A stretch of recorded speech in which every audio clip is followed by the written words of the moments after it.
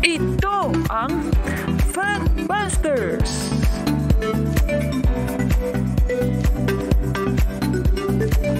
Sa puntong ito ng ating programa, kung hindi ka pa nakasubscribe, pakiclick po ng subscribe button at ang notification bell para updated po tayo sa ating mga susunod na videos. Kaya, let's go at simulan na natin!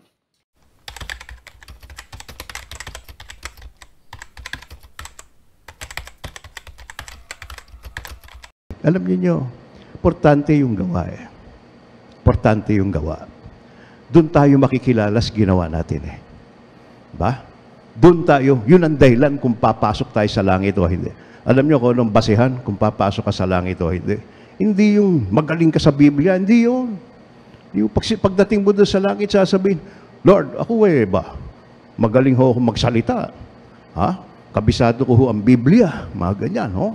Ang mga simbahan ho namin ay punong-puno ng mga matutulis ang simbahan namin, mga ganyan, di ba? Magaganda ho yung simbahan namin, isang kulay, mga. Di ba? Mga ganun. O ako ho naman, Panginoon eh, ha? Be, nagtayo ako ng maraming radio station, mga ganyan. Marami ho akong followers na nagtitinda ng puto at bibingka doon sa airport. Ganyan, di ba? So, di ba? Parang ganyan. Hindi mo ipagmamalaki yan. Tatanong ni Lord, to nakasulat sa Matthew 26 eh, di ba?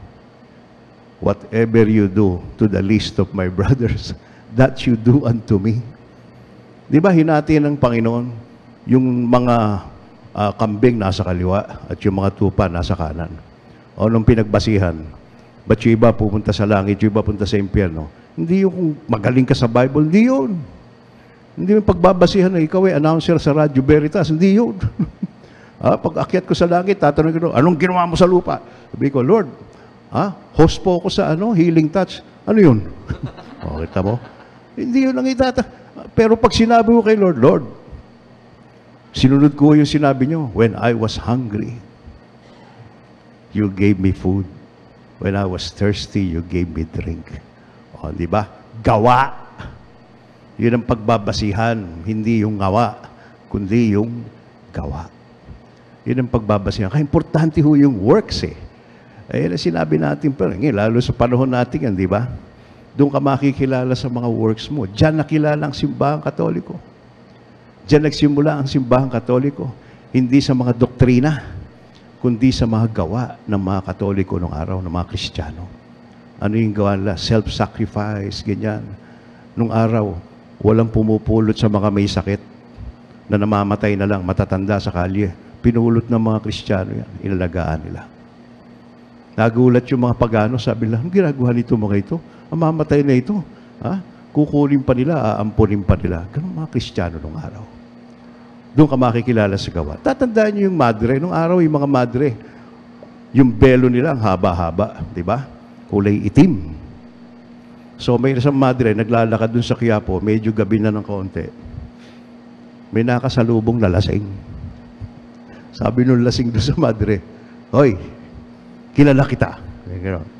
Sabi ng madre, oo, oh, talaga? Oo, oh, kilala kita. Sabi niya, hindi ba ikaw yung tumutulong sa mga mahihirap? Oo, oh, sabi ng madre, oo, oh, tumutulong sa mahihirap. Hmm. Di ba ikaw yung nagtatanggol sa mga naaapi? Kaya, sabi ng madre, oo, oh, ako yun. Oh, sino ako? Sino ako? Sabi ko na eh, di ba ikaw si Batman? Sabi niya, eh kasi nakaitim. Biro mo na pa. Pero doon ka makikilala eh. Kay madre ka, kay Batman ka. Doon ka makikilala sa ginawa mo. Di ba? Eh alam nyo, yan ay may pagmamalaki natin eh. Alam nyo pagkakaiba natin sa Iglesia ni Cristo at sa mga born again, sa mga protestante at mga kung sino-sino pang sekta. Alam nyo kung anong malaking pagkakaiba natin. At yan pinagpapasalamat natin sa Diyos. Hindi doktrina eh. Ang pagkakaiba natin yung mga madre. May madre tayo eh. Ha? Sila wala. May madre kayo? Oh. Anong ginagawa ng mga madre? Uh, ako, laki madre ako. Nag-aaral ako sa eskwelahan eh. Oo. Buti lang, nagpare ako. Bala ko magmadre. Ha? O eh, bawal eh. Saan ka naman nakita? Ba't ako magmamadre? No? Dominican sisters. Lumaki ako sa kanila. Alam niyo anong ginagawa ng madre? Hindi, hindi, yung mga hindi kayang gawin ng mga pare. Ha? Alam yan, alam nyo, mga kapanali ko rin sabi ko. You have a sister in every part of the Catholic Church. Ay, kita mo, orphanages, home for the aged. Nakita ba niya yung mga madre ni Mother Teresa? Yung mga inaalagaan nila doon? Yung amoy ay grabe. Ha? Nahiya akong maglagay ng face mask sapagkat yung mga madre, walang face mask. Tumutulong doon sa mga taong halos inabandonan ng mga tao ng, ng lipunan. Oh. At yung mga madre doon, hindi naliligo. Hindi naliligo. Ah, kasi nung araw na inassign ako dyan na magpakumpisal eh. Oh. Kaya pag nagpapakumpisal ako sa mga madre yan, oh, marami dyan, Bombay na madre. At di sila naliligo. Talagang self-sacrifice. Ha? Nagpapakumpisal ako dyan, maniwala kayo. Sila may kasalanan akong pinaparusahan. Ang sinasabi kong gano'n, no, ha? Kaya sabi ko sa inyo, pero hangang-hanga ako sa kanila. Yung hindi kayang gawin ng ibang katoliko, nagagawa ng madre. Eskwelahan. Ilan sa inyo gumraduate sa eskwelahan ng madre? Natuto kayo ng basic spirituality, pag-rosaryo, lahat dahil sa mga madre. Ilan sa inyo nagagalit sa madre? Napaka-stricto ng mga madre, yung matatanda. Pero pag nagkaroon kayo ng alumni homecoming, at nakita mo yung madring napakalupit nung araw sa'yo, aakapin mo eh, sister, salamat po. Matanda na yung madre. Wala, ta- wala, wala kayo mga iglesia, mga, wala kayo niyan eh. Kami meron yan. At yan ang aming puso. Nakita nyo, yan ang gumagawa ng mga hindi namin kayang gawin. Kayang gawin. O, kasi mga pare, iba naman ang ministry ng pare. Pero sila kaya lang gawin yan. Ah, kita ko mga madre, wala sasakyan, naglalakad. Ha? At eh, talagang yung total dedication nila. Papaandar na mga eskwelahan, walang sweldo yan. Walang sweldo. Oh. Talagang, ibig sabihin, all for charity, all for the love of God, total commitment. Oh, yeah. Isasabi ko lang sa inyo, pahalagahan natin yan. Ngayon, kita mo, sa COVID-19, oh, sino ang nasa fronte? Oh, di ba, mga madre? Oh, eh, kaya nga, matapang sila, hindi sila tatakot na mahawa. Kaya yung nasasabi natin mga kapanalig, kita mo ang Catholic Church. Ako, I, I feel so blessed as a Catholic kasi may mga madre tayo. Kaya minsan gusto ko na magmadre. hindi, wala na. Late na tayo, hindi na pwede.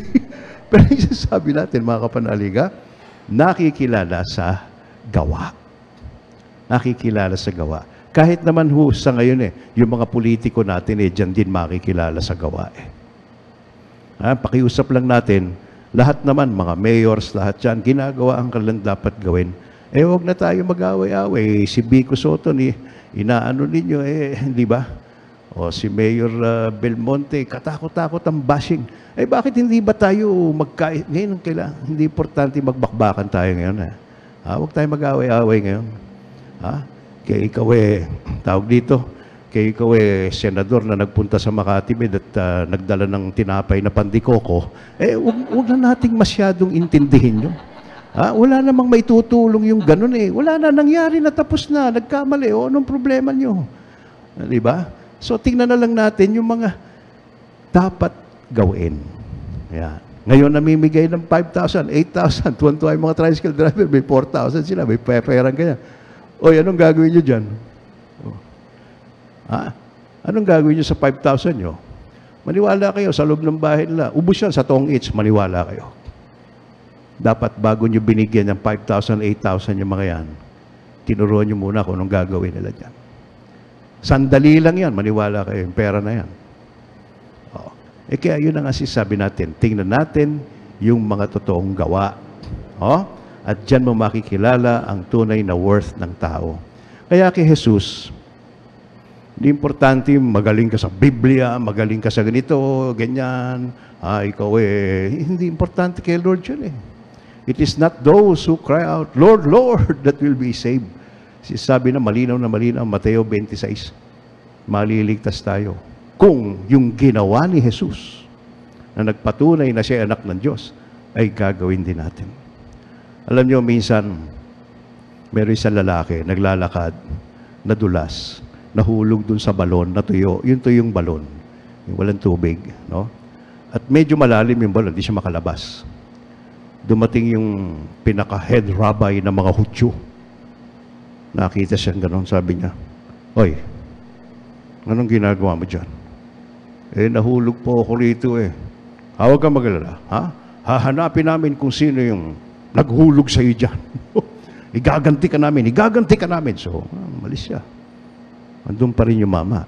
Igaganti raw eh. O, sige. Maya-maya dumating si Buddha. Ano ba si Buddha, no? Ha? Si Buddha. O, tiningnan ni Buddha,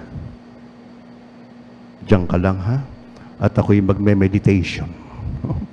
At iisipin ko, magme-meditate ako, bakit ka nahulog dyan? Ganyan, no? Ha? So, iniwan niya. Dumating naman si Confucius. Confucius, no? Pa- Parang Diyos sa mga Chinese, eh, no? Nakita ni Confucius, sabi niya, kasalanan mo yan, tatanga-tanga ka, no? Hindi mo tinitingnan dinadaanan mo. Next time, titingnan mo yung dadaanan mo. O, sige, malis. Andun pa rin yung lalaki. Dumating si Jesus. Pagdating ni Jesus, niha-niho, walang salita.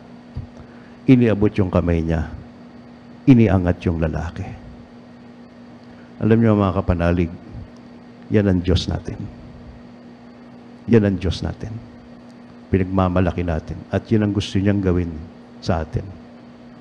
Ang gawa, ang importante sa lahat. At ito, inihalimbawa sa atin ng isang precious, precious na ika ngay treasure ng ating simbahan katoliko, ang mga madre. No? Very precious sila sa buhay ng katoliko.